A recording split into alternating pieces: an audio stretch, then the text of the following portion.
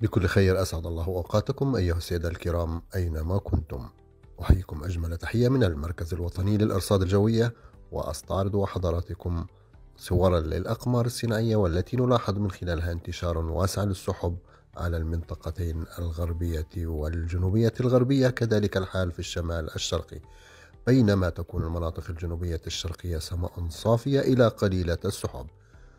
انتقالا إلى التوقعات والتي نبدأها بالشمال الغربي حيث تكون الرياح شرقية نشطة إلى قوية مثيرة للأتربة. مع انتشار للسحب ستكون في بعضها ماطر يوم الأحد بإذن الله تعالى على العديد من المناطق الغربية.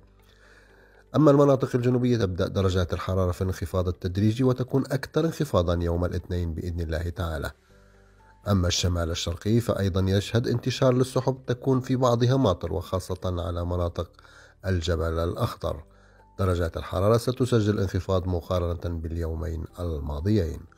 في الكفرة تزور بسير الجنوب الشرقي. على هذه المنطقة يشهد سماء صافية إلى قليل السحب ودرجات الحرارة تتراوح من 20 إلى 24 درجة مئوية. نشرتنا وقد تكاملت إلى اللقاء.